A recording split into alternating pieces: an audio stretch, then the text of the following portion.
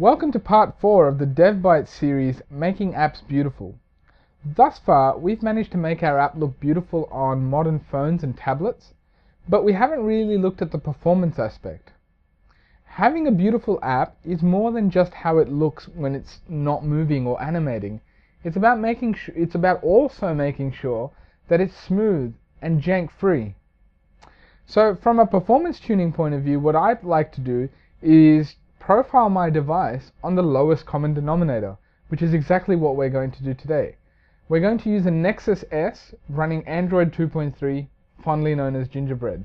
So let's see, let's switch over to our Nexus S and see what our app looks like in its current state.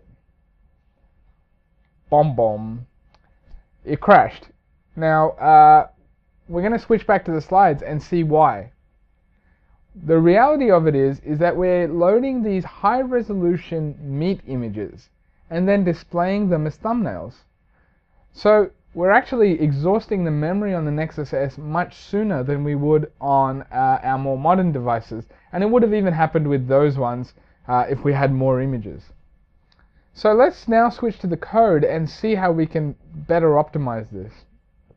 What we're going to do is load these images in the, at the resolution that we're going to display them, rather than the resolution that they, uh, the, the, their source resolution. So we use this bitmap factory options object, and we then set this in just decode bounds to true. What that does is that it makes sure that decode resources only looks at the metadata of that bitmap, and in this case, the resolution. So once we've loaded that, we're going to uh, go into our own method called calculate in sample size. We're going to try and calculate what the value of this should be. Basically, in sample size is a, is a value that's used like a power of 2. So in sample size of 1 will mean we load the image in its native resolution or source resolution. 2 will mean it'll be halved horizontally and halved vertically. So it'll be a quarter of the size of the original image.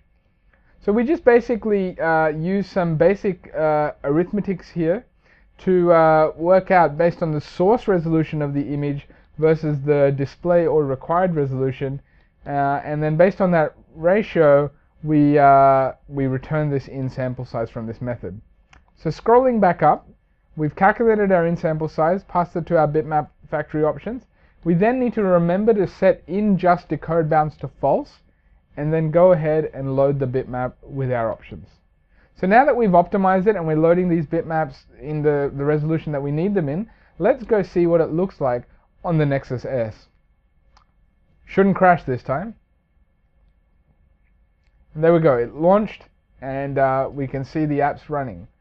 But it's not running great. As we scroll here, you can see that we're getting some jitter and jank.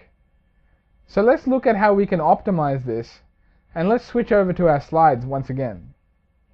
The reason that we're getting this jank is that we're loading those images in the main thread, in the UI thread, and we really shouldn't do that.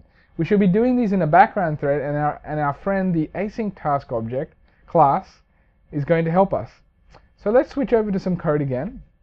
And we'll see here we've got an async task for loading our bitmap. We uh, actually pass the image view to this, uh, to this async task and we store it as a weak reference so that if the framework needs to free that image view, we're not going to hold on to it we're going to allow it to be garbage collected. Anyways, going to the do in background method on our async task, this is happening in a background thread, so we'll go ahead and actually uh, load our sampled bitmap, uh, and this is that code that we saw earlier, so it will kick in with those optimizations. Once this is done, in on post execute, we're just going to go ahead and apply the bitmap. So now let's see how the app looks like when we run it on our Nexus S.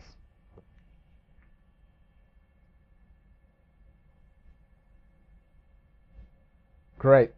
We can see here that as we scroll, the images get loaded in. Now because we're doing it in the background, what happens is that we get this placeholder, we're just using a white, a, a, it's just uh, a, an empty image there until the image loads, but it's happening in the background and the important thing is that our scrolling is now smooth.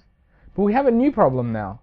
Every time an image goes off the screen, we're actually relinquishing that image, we're freeing it and then loading it back in. That's not a very good thing to do. So what we're going to look at is how to fix that. So switching back to the slides, what we're going to do is we're going to use an image cache. Now what an image cache does is holds onto the images, so we'll load the image and then we'll throw it into the image cache and it'll hold onto the images for as long as it can uh, and then when we go to request an image we're going to look in the image cache first. So let's switch over to code and in the onCreate method of our fragment what we're going to do is initialize our, uh, our LRU cache, that's the image cache we're going to use. But for the cache size, what we're going to do is we're going to set the cache size based on the maximum available memory on the device for our app in kilobytes, so dividing it by 1024. But we're actually going to get one eighth of that that uh, that size. So our cache will be one eighth of the available memory in kilobytes, uh, and that's what we will use to initialize our LRU cache. Also keep in mind that we're overriding the uh, the size of method so that we can tell the cache how big our, our bitmaps are going to be. And that's it. With that, let's see what our uh, Nexus S looks like now. So we're going to launch it. We expect it to be nice and smooth, which it is. And what we're seeing here is that as the images go off the screen, they're not actually being relinquished. Our cache is kicking in. Of course, if we uh, blew our, uh, our memory limit, it would start to dispose and throw away of those images and, and load them as necessary. But we don't need to in this situation. So we've reached the uh, the end of this DevByte. Let's switch over to the slides. Let's. This is where we started on the left-hand side with a, an outdated-looking app. It now looks uh, beautiful and modern on modern devices. It runs really well. But one thing we haven't looked at yet is how to make it look equally beautiful on older devices. And we're going to do that in the next episode.